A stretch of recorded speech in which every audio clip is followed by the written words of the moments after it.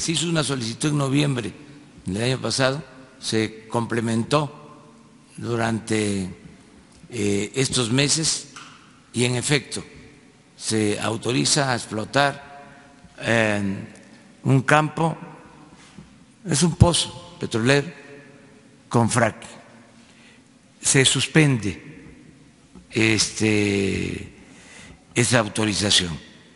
No vamos a usar frac en la explotación del el petróleo.